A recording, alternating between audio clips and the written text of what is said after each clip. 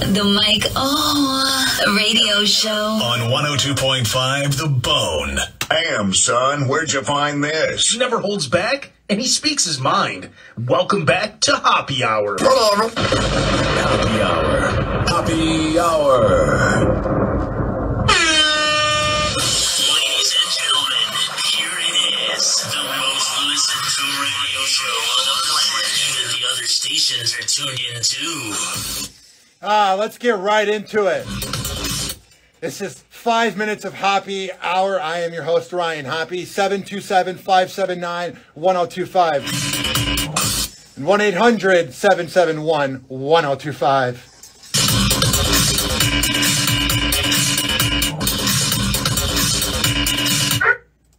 she's still my wife. It ain't no, it ain't no Oh, paperwork. I love that. I love, I love that. Kanye West just made it crystal clear he wants Kim Kardashian back. Why is it that whenever Kanye West is obsessive over Kim Kardashian, we just pass it up as, oh, that's just him being him? But if it was any random dude in Largo who broke up with his girlfriend and kept saying, that's my girlfriend, even though they broke up, he would be a psychopath. Why? Because Kanye West is also a psychopath.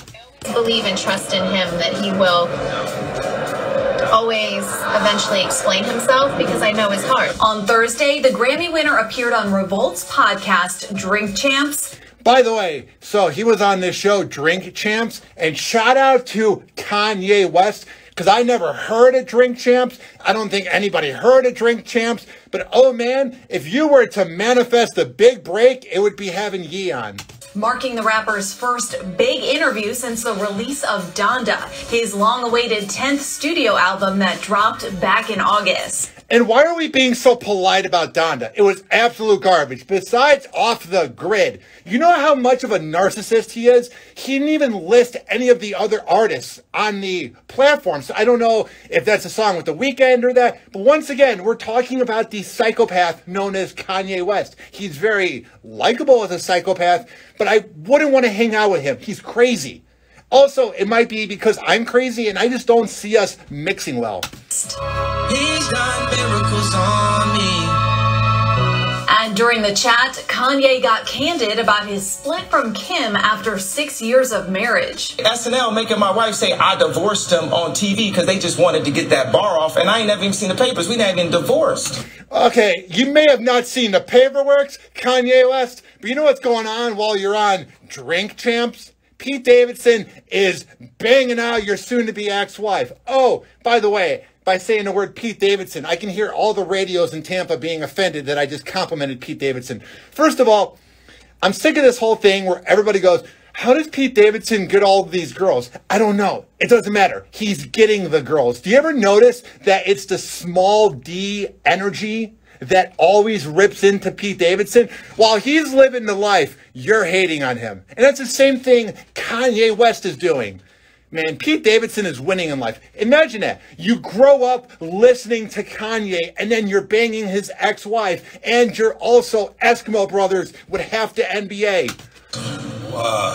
So how we? Because that ain't no joke to me. Of course, Kim filed for divorce back in February, and when the KKW beauty founder hosted Saturday Night Live last month, she addressed their breakup during her opening monologue. When I divorced him, you have to know it came down to just one thing his personality.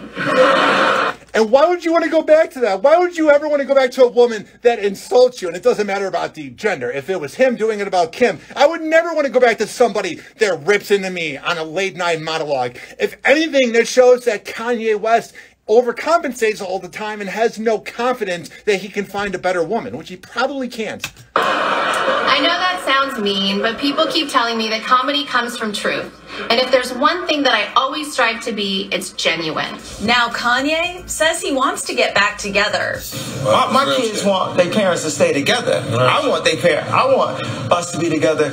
Yeah, but don't force it at the same time. He's making it about the kids now, even though he uh, talked about almost getting an abortion when he was running for president. Remember that? Oh, but the kids I love. Together too. But if you look at the media, that's not what they promoting. That's not what they want. They want it to be a new wedding, a new episode, a new TV show, and then they have people all around. And my All right, I don't care anymore. He's just babbling at this point. Spencer is in. He will be board hopping the best of Johnny B next. If you want to hear more of my show, which I'm going to manifest either in a big market or in this town, uh, search Hoppe Radio on every single platform Spotify, Apple Podcasts, TuneIn, Spreaker, H O P P E Radio, and spread the word. Happy Hour. Happy Hour. Happy hour is now over. And like that, he's gone. You're listening to the Mike Owen Radio show. on 102.5 The Bone.